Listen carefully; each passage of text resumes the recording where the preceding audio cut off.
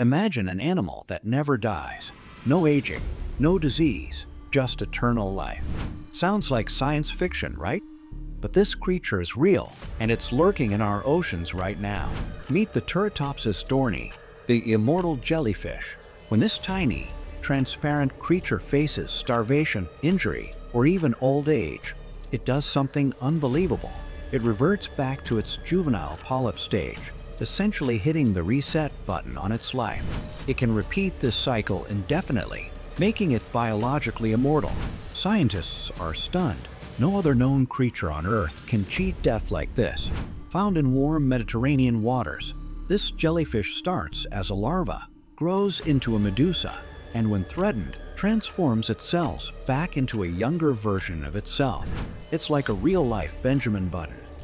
Researchers are studying its DNA, hoping to unlock secrets that could revolutionize human medicine.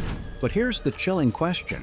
If nature created an immortal creature, what's stopping it from taking over the oceans? And could we ever harness its power for ourselves?